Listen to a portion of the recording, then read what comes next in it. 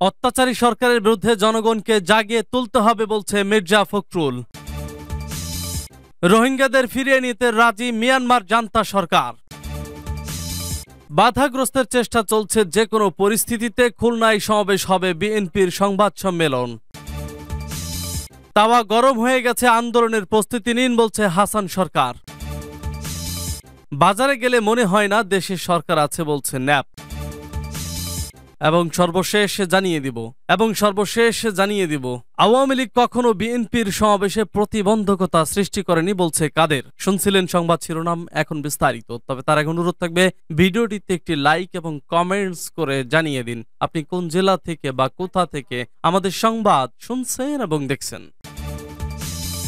অত্যাচারী সরকারের বিরুদ্ধে জনগণকে জাগিয়ে তুলতে হবে বলছে মির্জা ফখরুল। আর নয়, এখন সময় এসেছে এই অত্যাচারী সরকারের বিরুদ্ধে মানুষকে জাগিয়ে তুলতে হবে বলে মন্তব্য করেছেন বিএনপি মহাসচিব মির্জা ফখরুল ইসলাম আলমগীর। বৃহস্পতিবার দুপুরে রাজধানীর গুলশানে দলের চেয়ারপারসনের রাজনৈতিক কার্যালয়ে জিয়া পরিষদ আয়োজিত বিএনপির চলমান আন্দোলনে নিহতদের পরিবারকে আর্থিক অনুদান প্রদান অনুষ্ঠানে তিনি এ মন্তব্য করেন। বলেন, সরকার আজ ক্ষমতা আগলে রাখতে নগ্নভাবে নেমেছে। সমাবেশে বাধা দিয়ে জনসমাগম দমাতে চেষ্টা চালাচ্ছে এ সরকারকে সরাতে না পারলে জাতির অস্তিত্ব থাকবে। না। আওয়ামী লীগ সরকারের বিজয় নিশ্চিত করার জন্য বর্তমান নির্বাচন কমিশন গঠন করা হয়েছে বলে এ সময় দাবি করেন মির্জা ফখরুল। বলেন, ক্ষমতায় ধরে রাখতেই তত্ত্বাবধায়ক সরকার ব্যবস্থা বাতিল করা হয়েছে। গণতন্ত্র প্রতিষ্ঠা করতে হলে দানব সরকারকে হটিয়ে সর্বশক্তি প্রয়োগ করা হবে।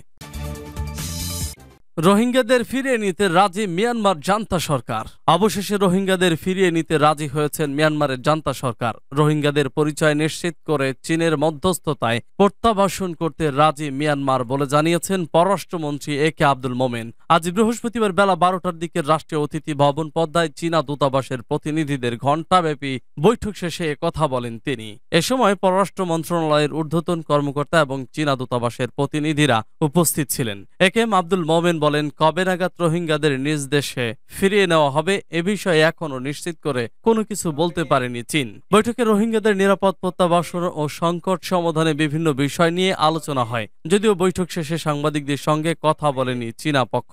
সম্প্রতি একটি অনুষ্ঠানে রাষ্ট্রদূত জিমিং ইঙ্গিত দিয়েছেন যে তারা মিয়ানমারের পক্ষের সঙ্গে যেসব কথা বলেছেন তার ভিত্তিতে তারা ঢাকায় পররাষ্ট্র মন্ত্রণালয়ের সঙ্গে আনুষ্ঠানিকভাবে ফলাফল তুলে ধরতে যাচ্ছেন।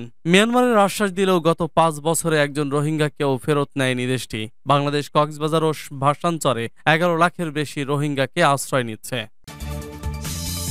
বাধাগ্রস্তের চেষ্টা চলছে যে কোনো পরিস্থিতিতে খুলনায় সমাবেশ হবে। বিএনপির ভাইস চেয়ারম্যান শামসুজ্জামান দুদু বলেছেন, বিএনপির শান্তিপূর্ণ সমাবেশে ভীত হয়ে সরকার, সরকারি দল ও প্রশাসন বিভিন্নভাবে সমাবেশে বাধাগ্রস্ত করার চেষ্টা করছে। তবে যে কোনো পরিস্থিতিতে বাইশ তারিখের সমাবেশ অনুষ্ঠিত হবে। বিএনপি নেতাকর্মীরা যতই আঘাতপ্রাপ্ত হোক না কেন, যে জনস্রোত দেখা দিয়েছে, যে জন আকাঙ্ক্ষা দেখা দিয়েছে, যে জন উৎসাহ দেখা দিয়েছে, সেটা কোনোভাবেই ঠেকানো যাবে না। প্রশাসন, পুলিশ বাহিনী অথবা অন্য কোনো দল এই যেন উৎসাহ ঠেকাতে পারবে না। আজ বৃহস্পতিবার দুপুরে খুলনা নগরের কেডি ঘোষ রোডের বিএনপির কার্যালয়ে দলের বিভাগীয় সমাবেশের প্রস্তুতি নিয়ে সংবাদ সম্মেলনে শামসুজ্জামান এসব কথা বলেন। সংবাদ সম্মেলনে শামসুজ্জামান বলেন, জ্বালানি সহ সব নিত্য প্রয়োজনীয় জিনিসের দাম বেড়েছে। পাঁচ গুণ পর্যন্ত দাম বেড়েছে, দেশব্যাপী অস্বাভাবিক নিরাপত্তাহীনতা বিরাজ করছে। এমন অবস্থায় বিএনপির সমাবেশে বাধা দেওয়া হচ্ছে, অথচ বিএনপিও এদেশে একসময় রাষ্ট্র ক্ষমতায় ছিল। তবে এই দিন শেষ দিন নয়। আরও দিন আছে।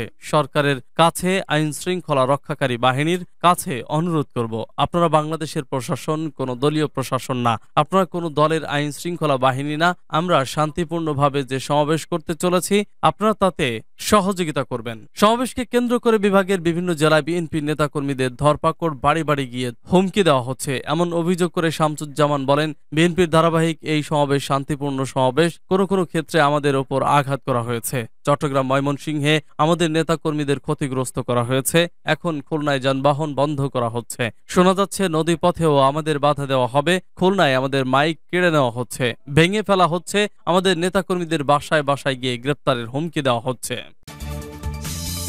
তাওয়া গরম হয়ে গেছে, আন্দোলনের প্রস্তুতি নিন বলছে হাসান সরকার। নেতাকর্মীদের উদ্দেশ্যে বিএনপির কেন্দ্রীয় নেতা ও সাবেক এমপি, বীর মুক্তিযোদ্ধা হাসান উদ্দিন সরকার বলেছেন, তাওয়া গরম হয়ে গেছে, আন্দোলনের চূড়ান্ত প্রস্তুতি নিন। পৃথিবীর সব স্বৈর শাসককে জনগণের ধিক্কার নিয়ে বিদায় নিতে হয়েছে। অবৈধ এই স্বৈরাচার এ সরকারকেও বিদায় ঘণ্টা বেজে উঠেছে। তাদেরও জনগণের চরম ধিক্ষার নিয়ে বিদায় নিতে হবে। দেশব্যাপী পুলিশের ধরপাকড়, অবৈধ শাসক দলের হামলা, মামলা, জলুম, নির্যাতন ও গাজীপুর মহানগর। বিএনপির আহ্বায়ক সোহরাবুদ্দিন সহ দলীয় নেতাকর্মীদের মিথ্যা মামলার জামিন না দিয়ে কারাগারে পাঠানোর প্রতিবাদে কেন্দ্রীয় কর্মসূচির অংশ হিসেবে বৃহস্পতিবার সকালে মহানগর বিএনপির আয়োজিত প্রতিবাদ সমাবেশ প্রধান অতিথির বক্তব্যে হাসান সরকার এসব কথা বলেন। নগরীর রাজবাড়ী সড়কে দলীয় কার্যালয় প্রাঙ্গণে মহানগর বিএনপির সাবেক সিনিয়র সহ সভাপতি মীর হালিমুজ্জামান ননির সভাপতিত্বে ও মহানগর বিএনপি সদস্য সচিব মোহাম্মদ শওকত হোসেন সরকারের সঞ্চালনায় সমাবেশ শেষে বিশেষ অতিথির বক্তব্য দেন বিএনপির কেন্দ্রীয় নেতা ডক্টর মাজহারুল আলম। আরও বক্তব্য দেন বিএনপির নেতা advocate Mehedi Hasan, Alice J GS Anwarul Islam, councillor Hannan Mia, Hannu Mahbubul Alam, Shukkur J S সুরুস Ahmed BP Joynal Abedin Talukdar councillor Ajmal Bhuiyan মহানগর যুবদলের আহ্বায়ক এজিএস সাজিদুল ইসলাম, অ্যাডভোকেট নাসির উদ্দিন, আমিনুল ইসলাম শ্রমিক দল নেতা সাইজুদ্দিন প্রমুখ।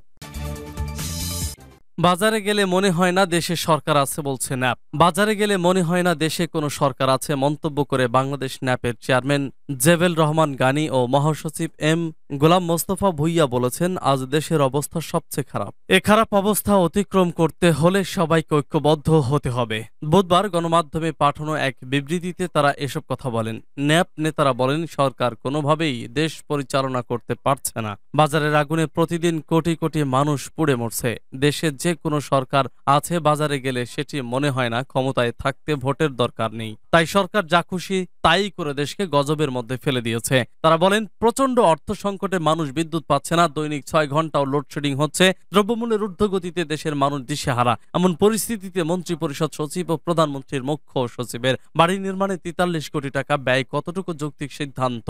ন্যাপ নেতারা বলেন, এখন মানুষের মনে দুশ্চিন্তা। সত্তরের মতো দুর্ভিক্ষ হবে, বাজারে গেলে দেখবেন টাকা দিলেই পণ্য পাচ্ছেন। তার মানে আমাদের উৎপাদন ঠিক আছে, সমস্যাটা হলো মূল্য স্ফীতির কারণে মানুষের ক্রয় ক্ষমতা কমে গেছে। গত আট মাসে চল্লিশ থেকে পঞ্চাশ লাখ মানুষ দারিদ্র সীমার নিচে নেমে এসেছে। তারা বলেন, উনিশশো সালে পাকিস্তানের বাইশ পরিবারের বিরুদ্ধে অধিকার প্রতিষ্ঠার মুক্তিযুদ্ধ হয়েছে। কিন্তু দুর্ভাগ্যের বিষয়, সেই বাইশ পরিবারের বিপরীতে বাংলাদেশে বাইশ হাজার পরিবার তৈরি হয়েছে লুটপাটের মাধ্যমে।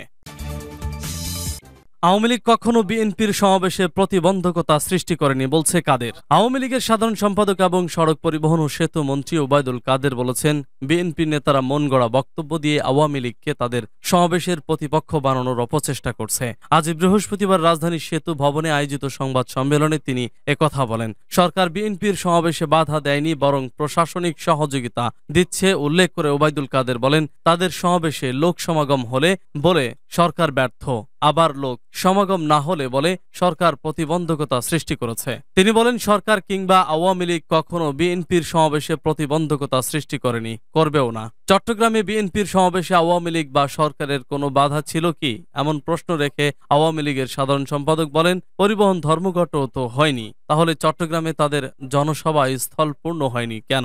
ঘটনার সমাবেশ বাধাগ্রস্ত করতে বাস ধর্মঘটের যে কথা বলছেন বিএনপি মহাসচিব সে প্রসঙ্গে ওবায়দুল কাদের বলেন, সেখানেও সরকার বা আওয়ামী লীগ কোনো হস্তক্ষেপ করেনি, করবেও না। তিনি বলেন, ধর্মঘট ডেকেছে পরিবহন মালিক, শ্রমিক, তারা যদি তাদের পরিবহন ও শ্রমিকদের নিরাপত্তার অভাব বোধ করে তাহলে সরকার বা আওয়ামী লীগের কি করার আছে?